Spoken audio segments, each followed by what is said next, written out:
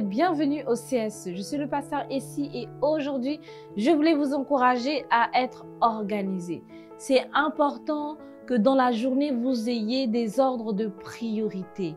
Et euh, donc, par rapport à ces ordres de priorité, vous devez planifier votre journée.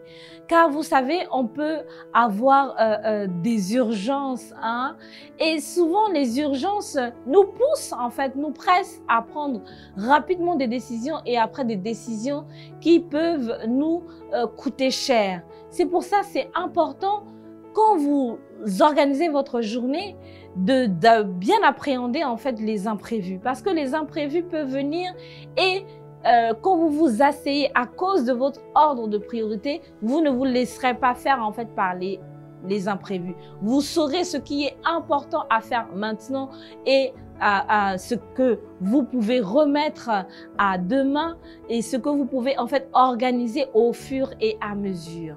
C'est vraiment important. Une vie organisée empêche les, euh, les improvisations. Oui, quand vous êtes organisé, vous arrivez en fait à prévoir, à avoir quand même une, une certaine marge de prévoyance, une certaine marge de voilà de d'organisation et vous savez que ah parce que je me suis organisée, je peux prévoir ça, je peux prévoir. Vous pouvez anticiper. Voilà, vous vous vous laisse quand même une certaine marge de manœuvre. C'est pour ça c'est important en fait de planifier pour avoir une vue d'ensemble et prendre de l'avance et pouvoir être en avance. Par exemple, dans votre journée, vous avez rendez-vous peut-être à 14 heures. Vous planifiez déjà votre journée la veille vous, vous, vous, chronométrez, si je peux dire ça comme ça, vous faites un emploi du temps par rapport à votre journée.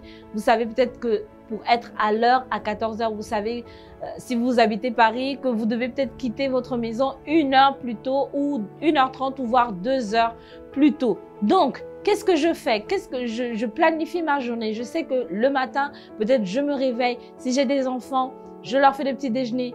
Je prie, je prends du temps avec le Seigneur, je me prépare et après, je pars plus tôt, peut-être je dois quitter ma maison à midi pour être là-bas à l'heure à 14h à mon rendez-vous par exemple.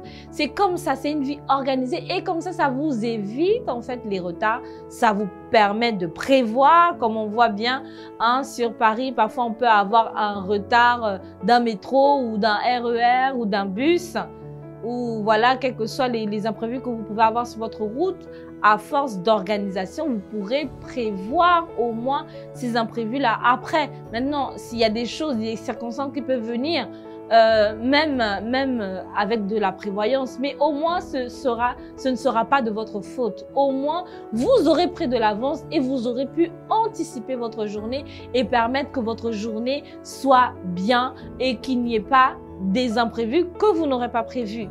Voilà, que Dieu vous bénisse et je vous invite dès aujourd'hui à être quelqu'un d'organisé.